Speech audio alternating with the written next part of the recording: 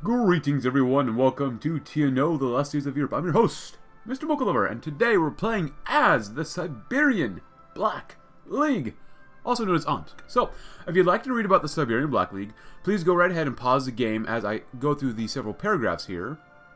Uh, but the great trial does approach for everyone, and if I remember correctly what I hear about Omsk, we are, as some might say, fueled by hate. But let us begin with the focus. The last days of Comrade Karbyshev. D General Dmitry Mikhailovich Karbyshev is dying. This is a fact that nearly everyone in the Black League is keenly aware of, and yet life continues as usual. The soldiers march through the streets of Omsk. The factories churn out as many guns as they can between bombings, and much to Karbyshev's chagrin, the officers bicker as always. Comrade Karbyshev does not have long, and yet his energy does not seem to have left him, even in his last days. The general plans to tackle some of the greater problems facing Omsk with the help of his closest confidant and student, Comrade Yazov. With his aid and General Karbyshev's characteristic zeal, the Black League's course will be righted, and we will march ever forwards along the path to the Great Trial. So, let's speed the game up. It's 1962, January 1st. Uh, the is there, and very nice. And we're ultra nationalists. Not bad. And future perfect. Fragmentary text. Site 119. Kosin's Kosvinsky Kamen substructures recovered by the Northern Expedition 31 of the city's Ministry of Antiques. Or Antiquities. Oh, Antiquities. Approximate date uh, OAC, or 0 AC. We were the generation that time forgot, born in the ashes of our fathers, to the commands we marched. We were young and without choices, led forward by deathless warriors, taking the field to settle their accounts, shot with a starting gun. A blinding light, and the sky collapsed beneath the weight of our sins, our heroes unmasked as tricks of the light. So go tell our Spartans, a slumber in their steely graves, that we, obedient to their laws, lie here, nameless of Cadre, 130756. Not even the gods fight against that necessity. So we have Luftwaffe terror bombing, which seems pretty far out since, yeah, we're I guess we're barely in the western side of Russia. We have the Fueled by Hate. I like that one. More attack and re recruitable population factors pretty darn nice. And nothing left to lose for organization and supply consumption. And a puppet in all but name. Ooh. Oh, that's not good. That's really quite not good. In which we lose political power. Uh, I forgot to do this as well. Let's see, what type of divisions do we have? Uh, that's not terrible. That's, yeah, that's actually pretty okay. That's pretty okay. You guys are not as good. And then you all... Well, we're going to start with these guys just because it's cheaper. And on defense, it should be relatively okay for what we need. Also, we are at the beginning stages, so we got to scavenge for loot. We got to do all this sorts of stuff around here. Who do we want to beat up? That is a real question. Kokshetau? Kokshetau. Oh, this is the person that can unify Kazakhstan, I think, right? Bandit Rabble, Steep Raiders, the new Khan. 10% more attacks, not bad. No unique focus tree, but that's alright. Alright, Intel Ledger. How many divisions do they have? 3 to 5. 3 to 5. Reichslas Conquest, okay. Also, we're on the cutting room floor patch G for this Omsk playthrough. Just to let you all know. Ah, the modern Bogatyr. Of all the tales of the Russian anarchy, there stands one that has spread from the frozen lands of the Far East to the city of Kostroma in the West, and even deep into the lands of the, the Nazi Empire. The story of a wanderer, for parts unknown, who brings justice with them as they walk the desolate roads of old Russia. This wanderer has come to be one of the greatest enigmas in all of Russia. Little is known about this enigma. Some report they are a former ranger of the Ural Guard, a man who left his home to bring justice to the worst of Russia. Others tell tales of a former Wehrmacht soldier consumed by guilt and under a self-imposed exile as a penance to the people he wronged. A few scant reports tell of a widow from a destroyed village, seeking to bring to others the justice she was denied. Whispers in the east speak of an American volunteer from the West Russian War, stuck in a land not his own, but still doing good where he wanted wandered. And in the bare or the bars of Siberian cities, one can always find strange and likely drug-induced tales of a man from the future, come back to save the world. Whatever their true identity and whatever the purpose in this corpse of the Soviet Union might be, all that is truly known is the kindness that they have shown to a people so used to violence and death. Tales are told of the wanderer holding off entire bandit raiding parties single-handedly, liberating slaves, or liberated slaves from Perm, tell of an angel of light freeing them from their shackles before disappearing into the night. And rumors have even come from Moscow of a one-man raid on Nazi strongholds. In the end, while many of these deeds are undoubtedly fictitious, the actions of this hero, this modern-day Bogatyr, have lit a fire of hope in the hearts of even the most trampled upon in Russia. An interesting story, if nothing else. Our best bet would probably be attack these guys in terms of trying to get loot. It, but it does depend if someone else tries to take loot from us first. Because we can defend against them, and we try to attack them, then that would not be too bad. Especially since we have level skill level 5 for our general.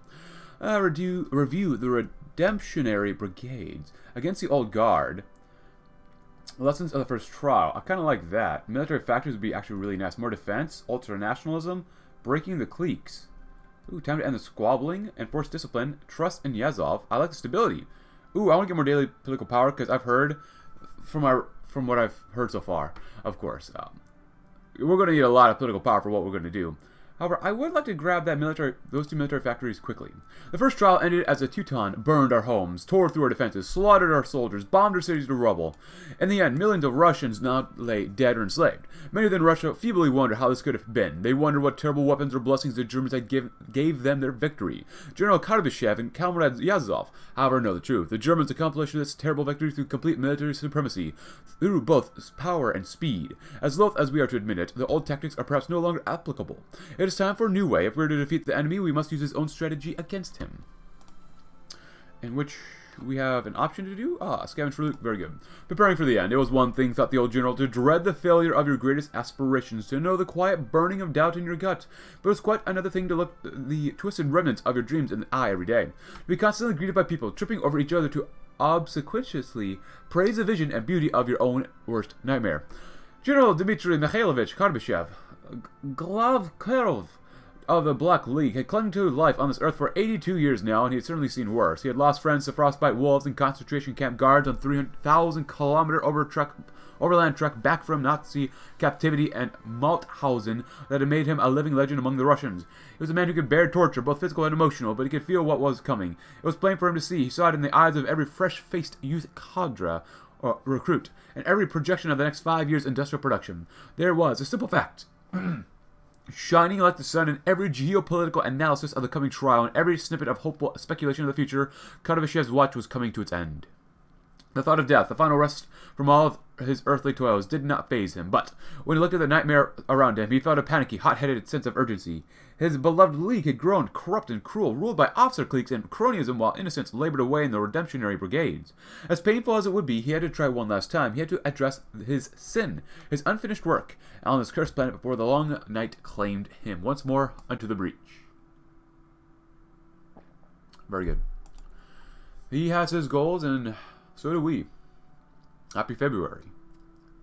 We are never going to finish that. Goring is a successor. Oh boy. Well, seem like we're building anything. That is big sadness. That is quite some big sadness. And we're also doing some research as well as some civilian construction speed because we can. After that, we'll go to the Steel Hut of Omsk. While the current geographical location or situation is not ideal, Omsk does have one great strength that it will get, try to give us, or give us the edge over our rivals in the region, industry. Factories pepper the landscape, and across Omsk, workers labor to create as many weapons and defenses as possible. If Bukharin did one thing right, even in his ignorance, it was providing us with this tool of vengeance. Yet this must be expanded on. The construction of this new arms factory will begin effective immediately, and within a matter of months, new weapons will begin to pour from Omsk Steel Hut to the arms of our soldiers. I think I always say that on Bukharin. Bukharin? I, I think that's how you say it, but you know what? Let me know if I say that incorrectly. Bukharin? I need to look that up.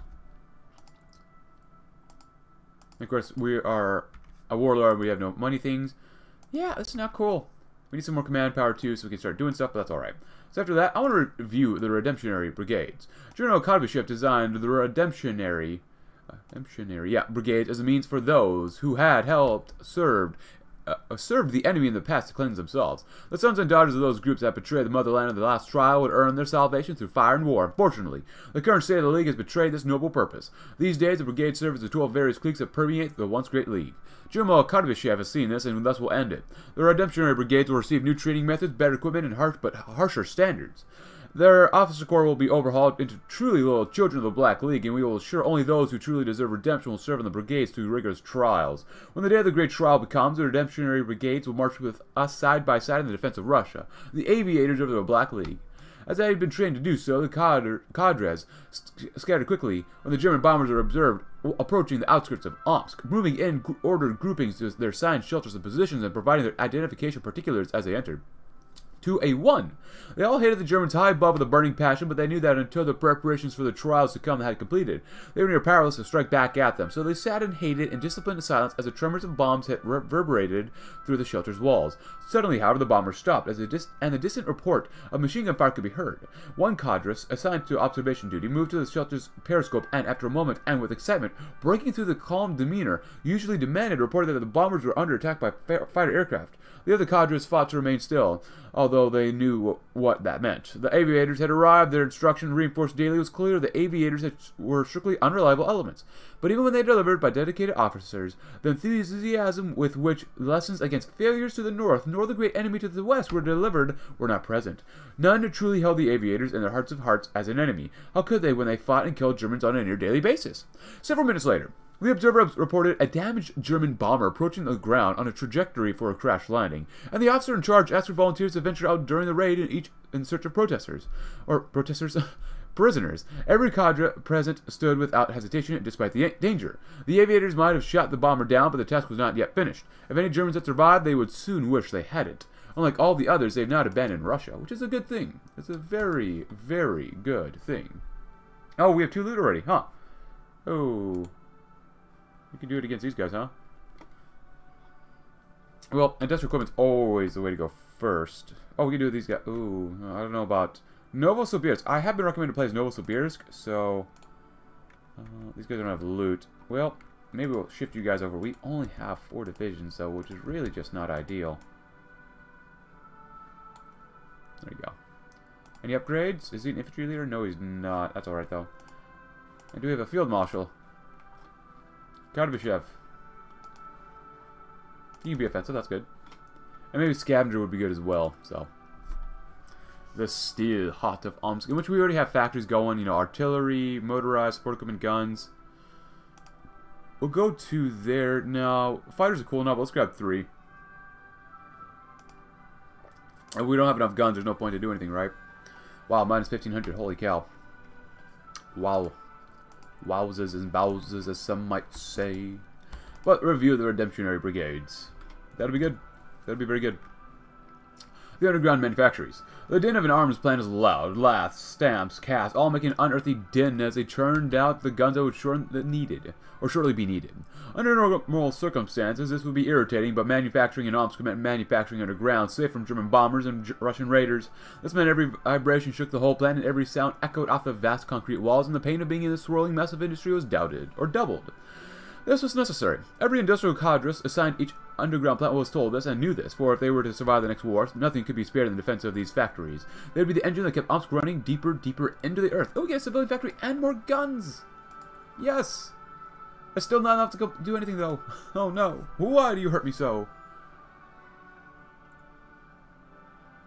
But that's much better. Much, much, much, much better. Oh, look, we can actually see what they have now. And I do have a cup of coffee here to keep us nice and warm in Omsk. Omsk is, can be a nice place sometimes. Trust in Yazov.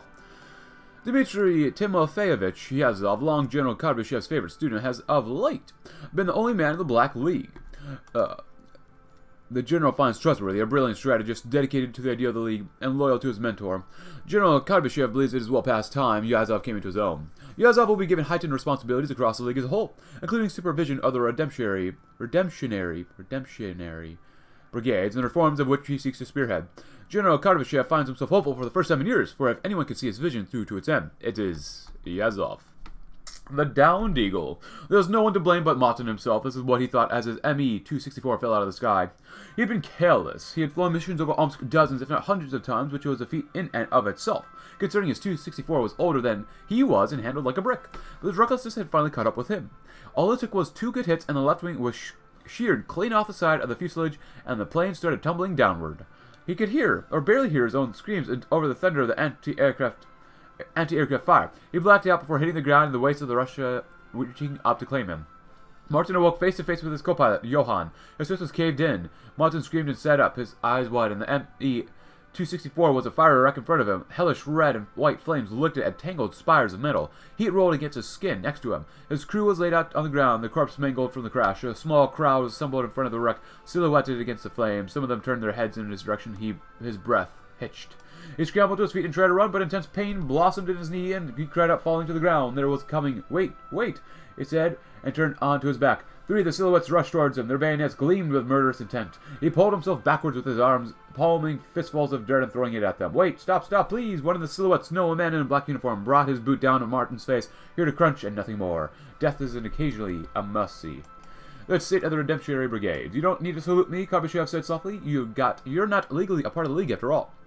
The Ukrainian foreman, standing before him, lowered his hand slowly, his eyes seeming to pulse with nervous energy. The scores of soot-stained men who stood behind him, work boots half buried in a mixture of snow melt and mud, that crowded around Karbyshev and his meager retinue of bodyguards, eyeing the old soldier with wariness and an indescribable emotion that almost felt like hunger. I'm not here to punish you, Karbyshev said as loud as he dared. I want to give you a chance at redemption. A voice piped up from the crowd. The last time we were offered redemption by you lot, 15 men died in a cave-in, starting to seem like there's a, not a whole lot of difference between between the two. The foreman's face turned bleach white, his hands reflectively clenching, but he braced himself for a punishment that never came. real redemption, Karbyshev answered. Not the same old lie you've been getting from the officers. Actual freedom. The crowd collectively murmured. Whatever you did to get here, it'll be wiped away and you'll be equal with us. A lot of you never came or even did anything worth getting here. We're going to change the system, but I need your help. What on earth could you need us for? We'll see what happens. Trust in Yazov. I like this, because I really would like more political power. Yeah, and radar stations actually would be pretty nice, but a quiet war. Comrade Yazov has, in his most private moments with General Karbyshev, expressed doubts of a smooth transition of power after the general's death, the League's fractured state, and the cliques of the officers responsible. Yazov affairs may be just volatile enough to erupt into armed conflict, and the situation isn't handled delicately. And so General Kardashev has given him the lead to do so as he sees fit to ensure a peaceful succession. Comrade Yazov has already begun his efforts to grow his own power base, and to combat the schemes of his rivals, and uh, yet more must be done. Comrade Yazov will train the redemptionary brigades to prepare for even the highest treasons, and he will engage in a scheduled radio broadcast to the League as a whole, earning their loyalty and respect. When the general meets his end, Comrade Yazov will be more than ready to continue his legacy. Trying to get more command power is just really bad. Oh, actually, uh, which one is better to do? I mean, seriously, 3 to 5. Um, these guys have way less in the field, so I'm actually going to do these guys. That's actually probably much better to do. Cool. The Protege. It was early morning in Omsk. Yazov, preceded by a steward, sat down by the training grounds of the League. Out there, in the blur of the distance, the, sh shouts of men and gunfire rang in the air. Today, too, was a day of preparation for the great trial. Near him was an empty chair. Comrade Karbyshev was not here today. Yazov shook his head, brushing his face with a gloved hand. Thoughts of betrayal assailed the protege's mind, only for a slight tremor in the air to banish them. Your coffee, sir, the steward said. Yazov gave him a faint smile. Banish those forms of address, comrade. We are all equal to our duty, he said, but yes, for now I will take the coffee. The steward gave a little bow, perhaps unused to this notion of equality among the ranks of the league and laid down his cup in front of him. In the chilly morning air, wisps of steam trailed the jet black liquid. Yazov took it and held it in front of him, staring down at the cold, hard-set eyes reflected in those dark depths, letting the scent immerse him in the memories of long things gone, and things long gone. He took the rim to his lips and drank. They flooded him in an instant, the rich aroma guiding him through the whirling pool of his mind. He remembered the first taste of coffee from before the fall. Then came upon a scene of comrades breaking bread from the freezing weather of the battle winter battlefield, hearing the firewood crackle. Yet an unseen tear gathered in his eyes. They're all dead now. Yazov put his cup down, gritting his teeth. He held it against for held it out for a few moments, pondering whether to finish his drink against common sense. He did. He found the fragments guiding him away from the turmoil of the Great Patriotic War. Yazov drifted where it led him. Dearest Omsk, dearest homeland, it sat in the cramped and huddled camps of refugee fleeing, refugees fleeing the west. The blood of the Germans spilled, standing even half the road away. He remembered the harsh and bitter coffee of the place, and the dank and sour smell that surrounded him. At that precipice, the coffee ceased to be. Yazov stared at the bottom of the cup and smirked. Now was not the time to mourn, but the time for revenge. The great child, above all, is looking kind of handsome, not gonna lie. What a handsome fellow. oh, man, now they got rid of it? Oh, come on. I do not want to fight either of these two because Tomsk. Oh, yeah, that's a lot of manpower in the field. I think I might just save it. So let's just save it for now and see what happens. Shield of the Motherland. Defense. Oh, we get more political power and war support. That's not bad. Oh, we have minus 11% war support too. The shield of the motherland. We are the last hopes of the motherland in the end. Under the Tsars, the Russian worker labored endlessly as a near slave, while the men on top reaped the benefits, providing nothing in return. The Bolsheviks, too, failed the people. Under Bukharin's undisciplined gaze, our military stagnated, and the Germans marched to annihilate us with near impunity. No more from Omsk, a new order will sweep across the land, one dedicated solely to the protection and vengeance of Russia, and when we march towards or forwards to retake Moscow, the generals, their scientists, and even the Fuhrer himself will quake in their boots. When finally the us for mercy as their boots rest on their necks, only then will the last trial be avenged. And actually, what happened over here? Uh, it's... Ah. These fine folks over here too, huh? Tyumen. Well, that's not too bad. I much prefer those guys. they do have some IFVs, which are... And they do have an infantry division right here. Can we see? Oh, that's actually pretty well entrenched. Mm, I want to wipe. I want to wipe. Under the microscope, though. Comrade Dmitry Timofeyevich, do you ever get the feeling you're just being watched? His mentor suddenly, his mentor suddenly question caught Yazov off guard. Karbyshev's words hanging in the lukewarm, stale air of the bunker. Do you mean the internal security? Yazov began in reply. Not in that sense, Karbyshev added, politely cutting him off. The old man struggled for a moment to find the right words. What I mean is a sense of your actions are consequential, consequential in some respect. We that we are being examined by those in the future. Uh, set a sense of destiny, you mean? Yazov replied. I would certainly hope so. We are Russia's destiny. Yazov seemed poised to launch into another round of practice slogans, but stopped short. No, quite the opposite, Karbyshev replied, his eyes growing distant and motionless. Have you ever felt the sense that you're nothing more than an insect being stared at through a magnifying glass? That people in the future on the other side of the looking glass of time are looking back on your chores or choices. As a fateful point where everything went wrong, Yazov hunched forward slightly as to speak up, but Karbyshev simply continued, but seeming, seemingly unaware. The other night, Dmitri, I had a dream, a dream of some long time beyond ours, where the people of the far future looked down on ruined and desolate Russia and judged us a league as being the ones led into room. I'm not a superstitious man. I'm not scared because I thought the dream was fated to happen, he paused. I'm scared because it was believable. Yazov tried to think of something to say in response, tampering down in a wave of purposeless doubt in his mind. He had a purpose, this was just a cause, no way but forward. In a moment, Karbyshev would surely turn away from the topic. Something here, or something where Yazov could just curl up and once more be a gear in the machine. But Karbyshev didn't. He paused and looked Yazov straight in the eyes. What I'm saying is, do you ever wonder if we're wrong? It's good to have thoughts like that, because if we are wrong, then we can correct ourselves. West Siberian Provisional Authority, we definitely want that. Definitely, definitely, definitely, definitely. I'm sort of waiting. Once we get loot, we'll be on the defensive, and then we can strike out. Because I don't have a lot of faith in us being able to strike out against our enemies. Our guys just are not that strong. At least in my opinion. We have maybe at max 24,000 you know, manpower in the field. Maybe. Maybe.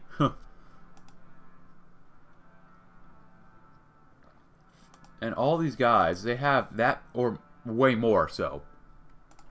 That is not ideal for us. Research is coming along. After we do all the research stuff, then we'll get some more gun stuff. Actually, I might after this, I might get more gun stuff, or even just, hmm, maybe the Lion Doctrine. Actually, that might be better. Shield of the Motherland, though. More defense just in case. And remember the oath. Kind of like that. But let's do the against the old guard. Both you do refugees flock to Omsk. Fyodor had heard stories of Omsk. Granted, they weren't good ones by any rational standard. In Omsk, it was said that people lived in fear not of bandits, but of policemen. Let the children of soldiers live in elaborate air raid shelters beneath the ground and dine on armory rations and canned meat packaged with Bukharin still ruled Russia.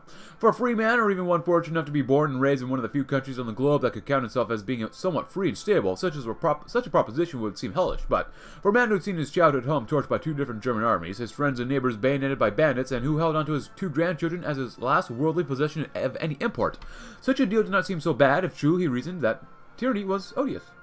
But in his painful life, which he had seen the rise and fall of no less than three different Russias, he had known tyranny's cold hands in many forms. He had learned to accept it and live alongside it, regarding it as simply a shadow in the corner, a thing to be acknowledged and worked around and little else. And so, as Fyodor's refugee caravan approached the checkpoint as the purported purported border of Omsk Black League and wind whipping at the ragged coat he had stretched over himself and his grandchildren, he felt only security and a sense of relief when the black uniformed men with guns approached them.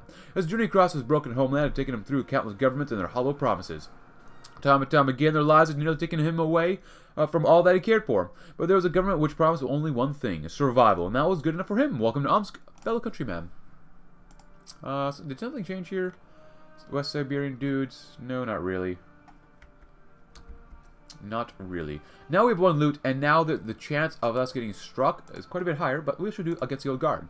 When General Karbyshev first dreamt up the League during the last trial, he envisioned a disciplined army ready to stand for Russia at any moment, unbroken and united in their purpose. Of late, it seems that the officers of the League have lost their way. Bickering and disunity have become the way of life for the League, even to the point where some question the General's authority, but this will end ultimately. At once, measures will be taken to ensure that the old guard are cowed and brought back to the fold by force if necessary. The general knows this will be an uphill battle, but in the end, it is one that must be fought for. If Russia cannot trust its eldest sons, who can trust it? More research speed. We must get it. Um, that's yeah, that's you guys over to the left, and you guys over there. Gosh dang it! Uh, I don't like this. I really don't like our position. It's not very good. And what are we lacking? Guns? Uh, just everything. We're just lacking everything. Shields of the Motherland against the old god. And probably an event, too. Oh, there goes Yugoslavia. Goodbye, Yugoslavia. Goodbye. The shield of the motherland, though, my friends. The perpetual snow and harshness of Siberia stood little chance in the face of an invincible Russian spirit. Construction has begun on a series of bunkers below the city of Omsk that will protect native Russians from any fascist German invaders or bomb. However, its main purpose will be to house their leadership and a sizable number of troops. The expansive complex will not only feature a primary bunker in the heart of Omsk, but metro systems fanning out across all of the city. While some of the League complained at first of cost overruns and corruption, they no longer will. We have our sword and now it's time to create our shield. German bombs cannot touch us now. Broken Men. They tracked the man for days. He's elusive and was very familiar with the terrain of West Siberia. This only made Victor's blood boil all the more. They recognized his worn uniform on sight. A German dog of the Wehrmacht, no less, had dared to pollute Russia's soil with his filth. The most frustrating, infuriating thing of them all, in Victor's mind, was a man's actions. Unlike the filth who had bombed the countryside, he was helping people. He defended families from bandits and slavers, and he aided farmers for only a pittance of food. The dude thought he could be redeemed, but Victor knew that the only redemption the pig would have is death. Victor and his men caught up with the man the next day and immediately began their attack. Despite having the element of surprise, Victor found that the stranger was quickly turning the tables on them. Already three of his men were dead, dead and another two were wounded. He would not give up, however, until the dude was dead. Victor threw himself at the man, wrestling him to the ground and stabbing him with his knife. However, before he could gut the pig, he felt a burning in his stomach. Victor looked down at the cold steel embedded in his gut and slumped over. The German got to his feet and approached him as he bled out into the snow. He reached down and dragged him to a tree. Victor tried to fight back, but he could hardly move. Then the man began tending to his wound, cleaning it and applying bandages. When he finished, he stood and began to walk away. Victor gathered himself to force out his words. This changes nothing, German pig. You deserve death for your crimes. All you dudes do. I know, he said in reply. As, this is not the Bogatyr, is it? This might be the Bogatyr. It might be the Bogatyr. Or maybe not. I don't know. We're against the old guard. Enforce discipline? Let's break the cliques. That's something good to do. Blame for the league's current state is not wholly on the shoulders of the rank and file, as much as the general wishes it was so. A broken roof does not destroy a house, but rotten foundations will. A source of so many woes plaguing the league will be traced back to the one ever-present threat, the opposite cliques. Those meant to command the league in a new age have lost their way and fallen into uh, decadence that threatened the destruction of Russia during the last trial. Though he grows more weary by the day. General Karbyshev will continue his reforms. He will not allow all that has done to be for nothing. The League must endure, but for that to happen, some sense must be restored to the officers. Perhaps now he hopes that they finally will listen.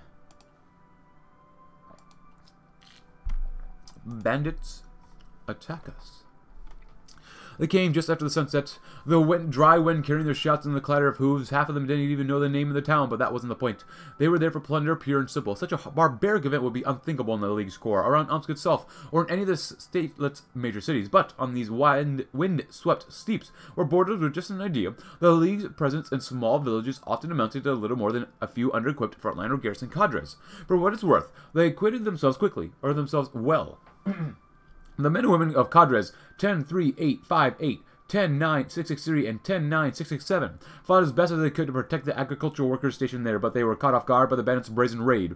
By, by about 9 that night, it was all over, their lives either already snuffed out or draining away fast. By the next day, they would be added to the ever-growing list of martyrs, and the High Command would be charged with dealing with the situation. We find the people who do this and make them pay, shore up our existing settlements so this doesn't happen again. We get political power, a fort, and lose stability. No, we're going to find the people who made this. Now we're gonna go straight all as fast as we fast and as hard as we can to find the people who did this. Oh, look at this, Tomsk. Probably one of my favorite uh, leaders for Tomsk, Shostakovich. Ah, an ultimatum. Here we go. We have reached or received an ultimatum from Kokshetau. Kokshetau. They're demanding that we hand over a tribute of loot, or else they will raid us and take it away from us anyways. We're at impasse to decide, so do we decide to engage in confrontation with these people, or possibly risking our men dying at the hands of our enemies? Or do we instead stand down and give in to their demands, giving them the desired loot, allowing them, our men to live to fight another day? Well,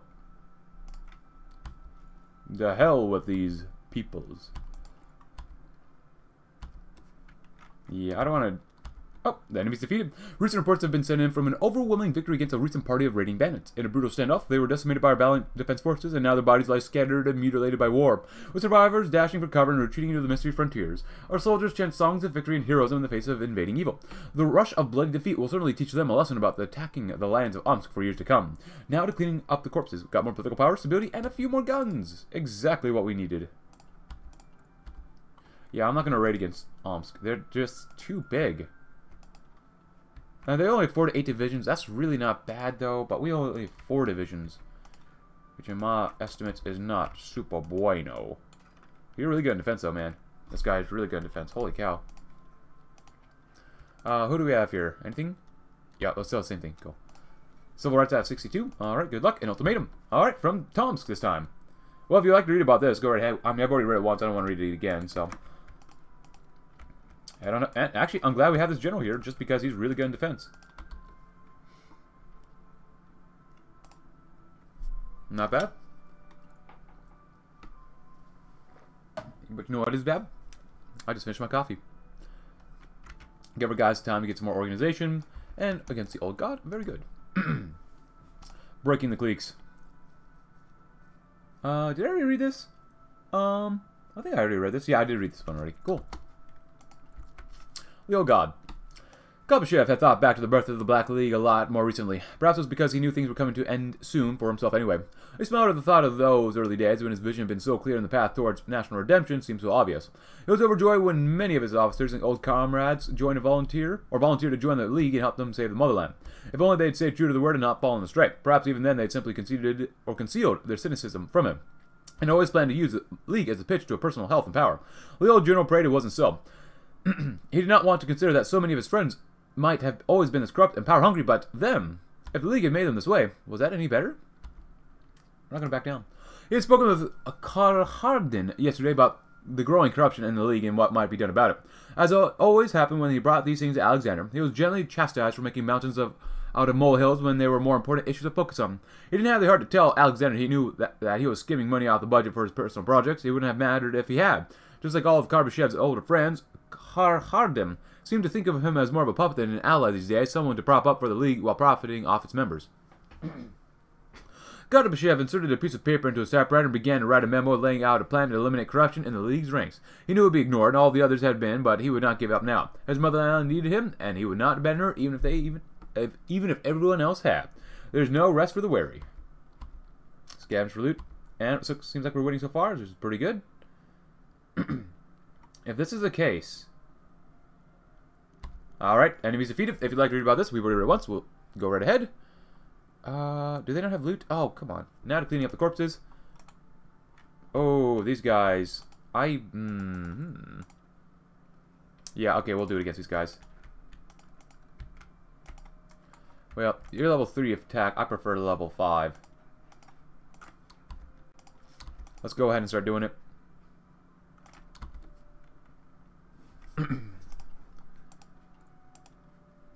but we must enforce discipline, but fitting in. Move. Cadre 10 4 9 2 4 move silently through the forest towards the sounds of raucous laughter and roaring bonfires. A small encampment belonged to those raiders who had so brazenly attacked then only a couple days before. Now it was time for their just rewards. Five full cadres of well armed infantry made a quarter circle as they moved towards the clearing where the drunken bandits enjoyed their revelry. There was a click of bipods unfolding, the soft ticks of safeties, and a crunch of soldiers laying prone in soft snow. Pick your targets and wait for the signal. After what felt like ages, the squawk came over the radio. Open fire. The ill-conceived party became a hellscape within seconds. Tracers ripped through their tents, horses, men, trees, everything in sight. Some were shot where they sat, drinking and yelling. Others had time to emerge, stumbling from their tents only to be shot down in an orgy of violence. After a couple minutes of continuous fire, the encampment was utterly ruined. A soft moaning sound flew into the night and would not be heeded. The slow line of black-clad soldiers were there to check for survivors. They would not survive much longer. Some Keep some for interrogation. We must prevent future incidents. Good. Enforce discipline.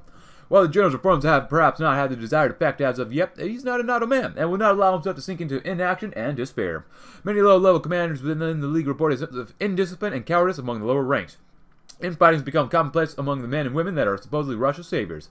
Perhaps a stronger approach is needed.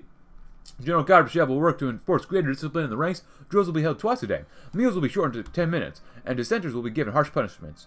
The officers need only obey their orders. Very good. Authoritarian socialists, huh? In my ultra-nationalist paradise? I don't think so.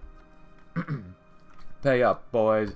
They refuse tribute. As expected, Pavlodar, as those they reject are often ready for battle, we must ready our men to prepare for the fight. Alas, bloodshed is sometimes unavoidable, and we must prepare for what is to come, even if they aren't going to cooperate. It is time we take the loot from Pavlodar by force. C'est la vie. now, you're not the person I wanted to lead us, but whatever. Raid successful reports have returned to men hurry home with trucks full of loot. Ooh, SNP wins in Scotland. And blood smeared over their hands. They congratulate each other for the successful raid against the unsuspected enemy, patting their comrades on the back and taking the last few shots of the survivors scurrying away. We proclaim victory in the skirmish as our men cheer and whistle in the hysteria of war, eager to present to the us the treasures they've prized from the grips of our adversaries. Seize all that we can use. Amen. And let's go ahead and grab some agricultural methods, because that's the second best one to do in my opinion. We've got enforced discipline, though. Followed up with the final speech. As the general surveys the result of his hard-fought reforms, he is forced with one bitter, inalienable truth. He has failed. Oh boy.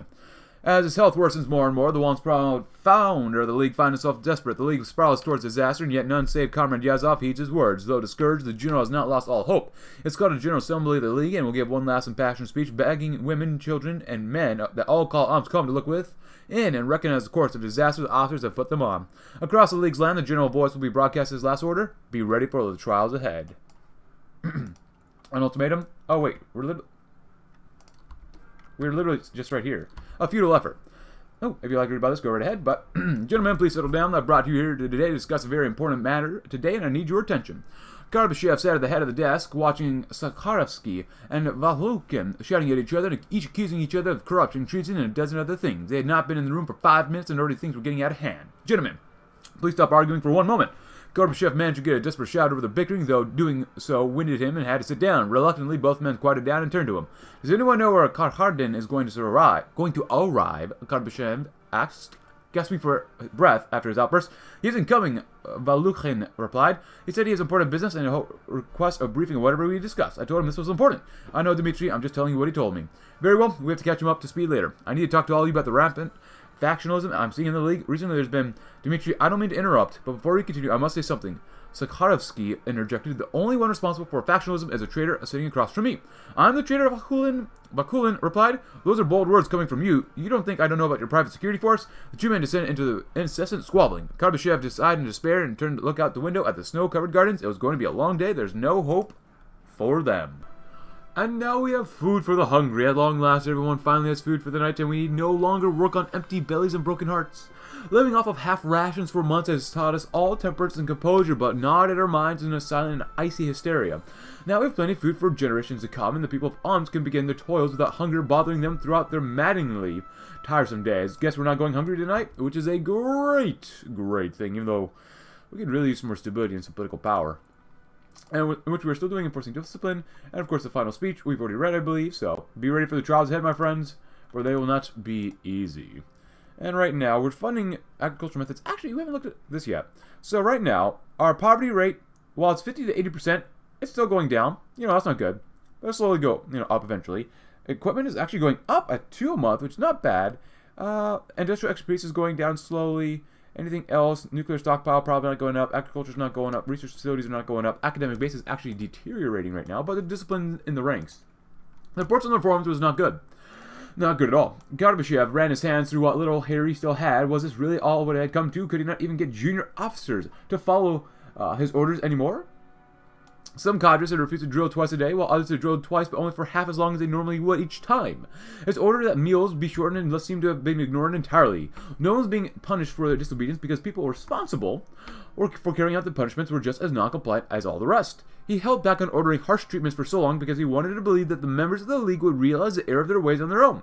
He now saw that just how naive he had been. The League was further gone than he dared to imagine. Deep inside of himself, a small voice questioned if it was still worth the effort. He crushed that voice as he had done so many times in the past. He had made his choices years ago when he created the League, and he was far too long to doubt starting himself now. The League had wandered off course, and he would spend whatever time he had left trying to get it back on track. His legacy depended on him. Russia depended on him. He could not abandon his nation, but when so many people already had, he believed, before all else in Russia, one indivisible, invincible. So long as he lived, there would remain at least one member of the League who stayed true to his principles. They were all he, they were all he had left. How can order be maintained without discipline? We lose some more stability. Oh, gosh darn it. It almost looks like just 20%. But it's negative 20%. Hmm. Alright, so you guys don't have money or treasure. You guys don't have treasure. You guys don't have treasure either. Uh, the Republic of Pavlodar does not. No one has treasure except Tyumen. Tyumen. So, eh. Also, I made sure that these cavalry divisions are actually called garrisons, so we can actually use them as garrisons. We should probably get some military police eventually, so that would be good, but only when we have, like, three research slots. Uh, God help us all. Yeah, we're going to need some help with that. Uh, our stockpile of stuff. Infantry guns are looking pretty good, actually. We do need quite a bit more artillery, though, as well. So, I don't want to do this, but we might need to switch things over to two artillery. Well, let's at least leave it on two for that for now. And the final speech, and then remember the oath. Every member of the Black League knows the words of the oath by heart. I believe before all else in Russia one indivisible and invincible. I believe in my own strength and the strength of my comrades. I reject the lies of the first trial and embrace the Black League as Russia's one and only salvation in the coming trial. When the day of the great trial comes, I will stand shoulder to shoulder with my comrades. I will face the enemy without fear, and I'll put my nation before my own life. I will be the sword and shield of Russia by which justice will be done for the fallen. I swear this oath by my sacred motherland. An ultimatum by the cock people. Ah, the old general speaks. Comrades, countrymen, fellow members of the League, thank you for joining me here today. It's been some time since I made a public address, but there are matters of vital importance that must be discussed, and I believe that each and every one of you deserves to be involved in that discussion.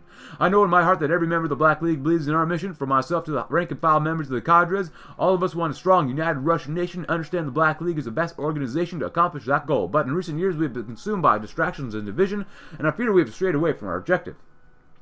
I've seen troubling signs of infighting and factionalism from my subordinates and from many of many officers of the League. Let me be clear that there's no room for factionalism within the Black League. If Russia is to be claimed for the directives, we must work with a unity of purpose, united by our love of our motherland. I am troubled that I must remind everyone that your loyalty is not to your superiors, but the Black League itself. I've also uncovered extensive networks of corruption from high-ranking members of the League. I will not identify names here as I believe in offering a chance of redemption to all, but let me be clear that if this corruption continues, there will be consequences for all of us. I, if you, if any of you believe that you know of any corrupt or unpatriotic behavior, I urge you to report the suspect and make sure that the justice is done. The greatest betrayal a League member can commit is placing their own needs above those of that of the Russian people. I had hoped that matters could be solved internally, but I realized that they are too widespread to be discussed in public, or not to be discussed in public. I hope that by addressing you, the patriots who make up the foundation of the League, that we might be able to finally put an end to factionalism and corruption and restore the League we all believe in to its original purpose. Thank you all and good night, but does anyone listen? Karbyshev's birthday. The white tablecloth hung limp like a shroud on a casket. The hot, coagulated air seemed to stand still in the room, sending pricklings of discomfort around the skin of those there.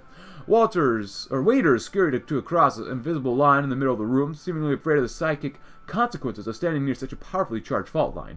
One on one side of the table, a meagery a menagerie of unimportant functionaries. Karbyshev among them, his face recalling some timeless monolithic statue, his dispassion said all that was needed. On the other hand, the old guard stowed, stolid intransigent and unabashed. In the background, muffled by walls and walls, there were gunshots. Glavkerovish, Abu Abakumov, intoned with a bare minimum of effort. I regret to interrupt this luncheon with a such an uproar, but the plot was uncovered against the leadership of our league. He paused for effect, throwing a glance at the men seated at the table. It has been dealt with. Karbyshev, of course, knew all too well that what was happening, and his heart sank. It was all over. His plan, no, he had failed. But did not go, go down quietly. Abakumov and one of his or one of his cronies was in the middle of gloating when a withering stare crossed the room, his words falling to the floor like a dead bird. Ten years from now, Karbyshev almost whispered before raising his volume tenfold. Ten years from now, you people I once called my comrades have betrayed my trust, and since then I've been nothing but a window dressing for continued victimization of our people. I watched you send women and children to war armed with uh, museum pieces. He paused, rising from the table and letting his chair fall to the floor. I see for who you really are now. You rats are just as treasonous as Vlasov and his vermin. Karbyshev spat with pure venom, animated by a terrible anger. I've lost many things from the waste that fed us in the camps muscles, fat, teeth, but not my convictions. You animals never had, to, had any to begin with. Nice. Of course, we do have the border war right now. Um, we're the ones defending, but it's over here, huh? Alright. Well, Western Siberian People's Republic. I really don't want to try it against them. Because even, look at our guys now. We don't even have enough, like, guns to attack, so... Enemies defeated if you like to read about this, go right ahead. Good, more guns. Helps our stability out, too, so... Uh, anyone else have loot? None of you guys have loot. We have one loot, which is good for us to defend, and when we win the battles, we do actually fairly okay, so... Ah, Dimitri. Not looking too good right now, Dimitri. We got a lot of political power, but I think we gotta save it, right? Oh, you guys. Um, well, let's see. I using the I kind of like using our treasure as bait. So this way, people want to come in and hurt us. Maybe an ultimatum. Ooh, Novosibirsk. Ooh, actually, we've not been able to fight these guys yet. So he's good, really good on defense. The guy we have right now. Uh, Western. Yeah, they don't have treasure, so we got about 10, 11 days remember the oath, and watch the borders. One of the few things everyone in the league agrees on is that we are utterly surrounded by enemies. Kaganovich, the greatest threat, rules with an iron fist over Tyumen and the surrounding territories, and it is no secret that, if given the chance, we'll be more than happy to invade our small statelet. If Kaganovich thinks that we will not go without a fight, he is mistaken. Yazov will personally oversee the construction of new several lines of defense along the borders, as well as the repair of the old radar station. When Kaganovich comes, for one day it will come, we'll be more than ready to crush him. Karbyshev's condition. But let's go ahead and do this first. Anywhere from Abu Kamov, Karbyshev asked, already knowing the answer. None, replied Kasan Magomedov. the young Tatar lieutenant, who served as the old general's aide-de-camp. Likely still recovering from the tongue lashing you gave him, Karbyshev chuckled. The young officer was technically Karbyshev's countryman in a way. Karbyshev himself was a, a, Tartar, albeit Siberian and Orthodox extraction, and Magomedov hailed from Tatarstan proper, but nationality wasn't why Glav had insisted on this man serving as his assistant for the past decade. Haven't you seen the doctor's report? asked Karbyshev. Magomedov shook his head. The Glav Korverov... uh, poured two glasses of vodka and mentioned his aide. Gesturing over to a chair next to his desk, once Magomedov was seated with his drink, Karbyshev continued. Nothing you probably haven't already known or haven't heard on the grapevine. He took a long sip of vodka, his eyes almost wistful. Doctor says I'm not long for this world. Kidneys are going out, plus half a dozen other things. Magomedov's face went white, not so much because he was unaware of this fact as he as because responding to such a statement was not the easiest task. Karbyshev sensed this immediately and filled the void instead. I know, not the easiest line to follow up on. One way I put it, I suppose, replied Magomedov, gathered his wits. Have you figured out, you know, final wishes and such? In my process of doing so, I assure you. But you can have anything from my office and quarters when I go. Both men laughed, and for a moment, the oncoming specter of death didn't seem so immediate. I toast then to what time is left. Loot for looting is nice. Ooh, these guys, yeah. In which I want the very fierce general to do this. Very good. Doesn't really matter. Get some planning done. We got a lot of political power that we're going to spend for later. Alrighty tidy. One loot, two loot, three loot, more loot.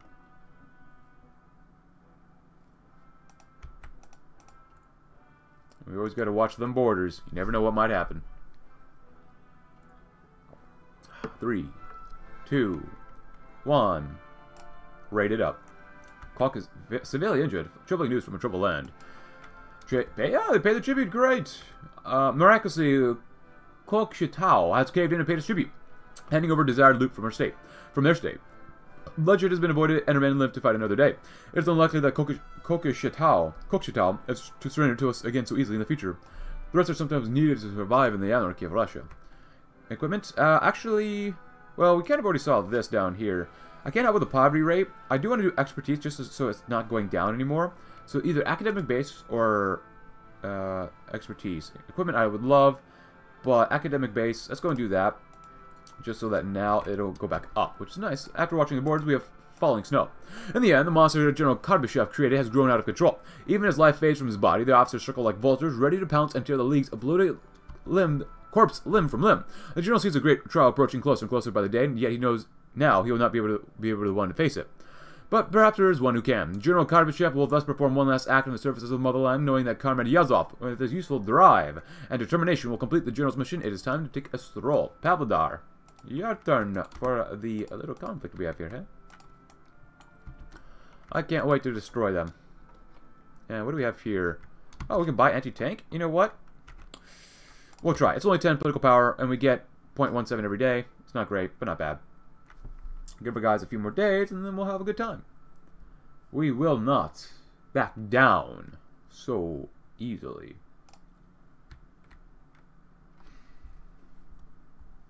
Good. Are they fighting a, a river? They should be. Konstantin Pastanagov. Alright, well, whatever. The falling snow. The end draws near. Oh, how sad. The enemy's defeated? Glorious. And do we really have one treasure? No, we have no loot. Treasure, loot, whatever it is.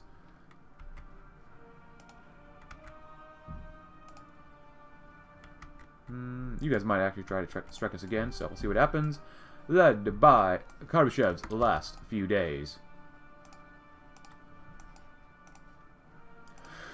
Karbyshev mentioned Mag Magomedov over to the side table in his office, glancing around furtively before speaking up, not in Russian, but in Tartar's other native language. Listen, Kasan, said the old general with a grim seriousness in his voice, when I die, well, I have faith in Yazov. A moment passed, but if things go badly, go north, and tell them Yelena sent you. Magomedov replied with a look of mild disbelief, My daughter, yes. Karbyshev responded, She's smarter than I am, truth be told, got out when she still could. His eyes grew di distant, as if imagining another time when and what could have been. But I've got a thing for a lost cause, I suppose. I stayed, and this monstrosity was built around me, built on me. Dmitri, I... Magadov stumbled at a loss for words. I really can't express my thanks, but Dmitri, why me? You know, you're the you're one of the only people that calls me that, just Dimitri. That's because you asked me to, sir. I ask everyone to do that. They don't. Even Yazov can't bring himself to, and that's part of why I care about what happens to you after I'm gone. See, when Yelena defected, I knew it was for the best, but that took away one of the last people who would sit down and talk to me as a human being, as a friend, and not just worship me or try to get favors. I'm practically the only one left now. I sit up here in heaven and watch and watch all those people down below file into church as it were and pay their respects. And then their little ceremonies end and they all go back to ignore me and everything I stood for. I'm not a real person to them anymore. I'm just an image, myth. The old man sat back in the chair. That's why I care. Because the pedestal is the loneliest place in the world. Oh man. No! No! Karabashev. I hope I'm pronouncing his name right, which I should be. And with this this man, Yazov, he's going to be very offensive and he's going to be able to move very quickly. It's a big sadness. Big, big sadness. Uh, I did say I want to do some land doctrine stuff because we need it, so... Interactions, wide spectrum of soldiers, armor defense, soft attack. Uh, I usually go with this one. Ex excel. That's, that's nice. I want to go combine operations for this campaign. I do want to get, maybe get some tanks eventually. That'd be kind of nice.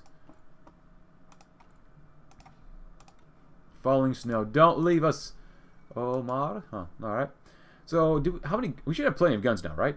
Plenty of guns, and we're going to need plenty of guns to help out down resistance when we take more land. So, the state of Israel will Jews and Arabs ever get along? Of course not. Well, actually, maybe, but probably not. I'd say once we get 2,000 pieces of infantry equipment, then maybe we'll shift one thing over and put it on anti-tank, because we want, you know, bigger divisions, of course. Wow, quite a bit of lag, but happy 1963, everyone. Hope you're having a great, great year. Welsh Unionists win elections. Britain is not a dream. All right. Um, you're still not building anything here, which is really saddening, but... Oh, you know what? That's gets through that. Zos order failed. Uh, if you'd like to read about this, just go right ahead. Uh, this happens pretty much every campaign, you know, or usually so. Oh, uh, particular foreign minister. It was a front. Nearly the whole foreign ministry was a front. Yes, there were state meetings, lowly assemblies with a low few, with a few low-ranking diplomats from bordering warlords. That is, that was it though.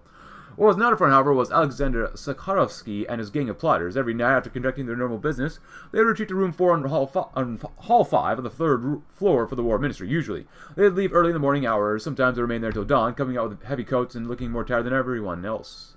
Now, to most outsiders who had never heard of the theory of terror, it seemed like some crackpot science, something invented by a New England liberal arts professor who had a little too much coffee and read a little too much Jean-Paul Marat and Hevet. On closer inspection, he began to see more exact. Sakharovsky had stumbled upon what he believed to be the purest form of justice, terror. After all, was it not Robespierre who wrote terror is only just as prompt, severe, and flexible?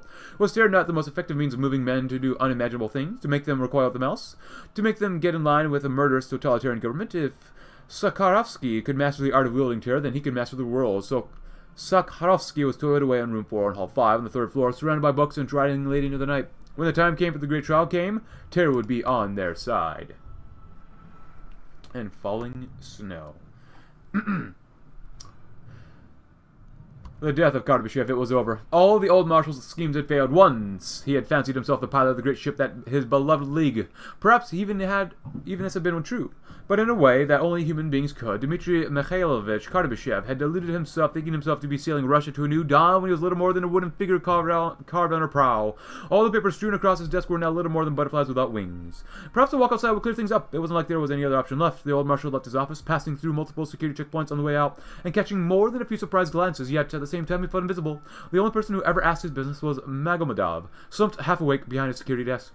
As the old cold night-time wind was whipped against Karbyshev's old frame, he felt a strange sense of peace. Certainly, it was one tinged with sorrow, sorrow that had not done enough, that he could not do more, yet the hot, heavy anguish that had racked him for the past five years was gone. Looking up at the snowy night sky, watching the snowflakes emerge from the darkness, the old general felt as if he had done his part. What would be, would be. Letting the faintest hint of a smile crept across his wrinkled face. He waved to the sentries at the guardhouse as he walked out of the main gate of the command compound and strode into a corpse of trees towards the riverbank half frozen by the early Siberian winter. The little creek babbled softly at the general's feet, lapping up against the icy ground. And his boots quivered on the slick rocks of the riverbank. He didn't struggle when the cold waters claimed him. The next morning, the internal security men would ask Magomedov a thousand times over what what it was Karbyshev that said to him before leaving. I am going outside and maybe some time. Well, now the Ultranationalist Party would be called Chernia Liga. The fascist party would now be called Chernia Liga. oh, he loses 100 political power. Wow. A puppet and all but name with a new leadership. We get more political power, organization, recruitable, pop, recruitable population factor uh, rate. Oh boy. Oh my goodness. And I'm going to read one more focus before we get there. So look at that. Cheer to the motherland. Prepare for the storm, and then those who are left behind. It had been a few days since Comrade Karbyshev took his walk to the woods and did not return. Yet today, Yazov took his usual seat next to the old man's side, waiting for his return. Today, too, the fields were noisy with men treating for the trial. The two cups sat in the cold, their steaming, steam, steaming, streaming into the air in smooth wisps before dissipating. He leaned back into his chair, growing sleepy as he worried, as worry and concern faded from the creases of his face. Comrade Karbyshev was not so weak that a chilly wind could kill him. He would return and lead the glory, the league to glory. He squinted. Now is not the moment to grow complacent. What would the man think of him if he found Yazov dozing off before their appointed meeting? Yazov sat up, elbows on his knees, tapping his fingers as hours passed and the day stretched to the evening. The cold breeze blew between the trees, and the training field grew silent as men trooped to dinner and Arthur, other martial business. The stern clouds looked at earth and seemed to grow greater and greater in disappointment or wrath. Still, Karbyshev did not appear. He was old, however, and maybe his creaky joints made him late. Yazov laughed, but it was hollow. Aides and officers came out of the offices, begging him to return to his quarters. A storm grew in the distance, and the clouds grew stark, steely in outlook. The sun went down and fell snow, and snow fell. Hmm. First in a gentle dusting, then as a thick, heavy blanket. The cool breeze became a frigid gale. The cool breeze became lashes of frozen air. Still, Yazov sat waiting, his fingers clasped together. Breathing with every shiver and shock, an aide breathing through the harsh winter came beside him. Yazov was still. Sir, the aide said, it might be time to rest. You will be saddened. You will sadden Comrade Karbyshev deeply if he returns. Yazov stood, gathering all his strength to speak amid all the din of the storm. Yazov spoke in a weak and broken voice. Yes, I, I will rest now. Thank you, comrade. The only words Comrade Karbyshev could not keep. Oh, still in the focus, huh? A terrible day for rain. The rain poured from the silent streets of Omsk as the procession marched through the streets, the drumming of rain upon gravel and boot upon stone drowning out all life. In the center of the column of wordless soldiers, a simple wooden coffin rested upon the hands of a chosen few. As they marched through the city, a flash of light momentarily lit the stony faces of those marching before. A crushing boom of thunder echoed overhead. At the front of the column, arms aching, bearing the weight of the left side of the coffin upon his shoulders, marched Dmitri Yazov. He was grateful for the night and for the rain, for it would let none see the tears as they flowed freely down his cheeks. He was still garbled, eh, garbed in the uniform of General Karbyshev's closest follower, not a leader, just a follower. As the procession passed apartment block after block, the residents, garbed in their own uniforms, filed orderly out of their homes and joined the procession. Not a word was spoken among the men and women of the Black League as they marched the great general's body throughout the streets. They marched for what seemed hours of the city proper and past training fields, and along the way, more and more people joined the march. All for one night, they would put their differences aside. For one night, the entire Black League stood united in mourning. Eventually, they reached the destination, the highest hill in the land that the League controlled, a suitable final resting place for the man who had given them so much.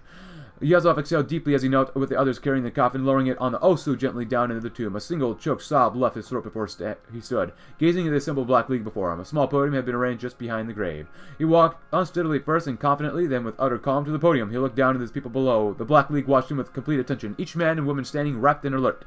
In his heart of hearts, Yazov knew that it was not over. He turned on the microphone and began to speak. Soldiers, workers, comrades, lend your general your ears.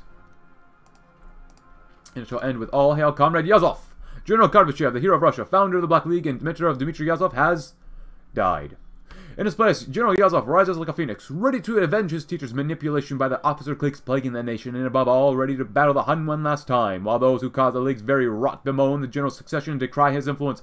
Plotting in the shadows, they forgot one thing, General Yazov is not his forefather. These worms will be exposed for the scum they are, and crushed under his boot, there can be no other outcome, and I hope you enjoyed today's episode. If you did, Leave a like, subscribe if you're new, check out my Discord link in the description below, and I will see you tomorrow when the reclamation of Russia will most likely begin. Thanks for watching, and have a great rest of your day.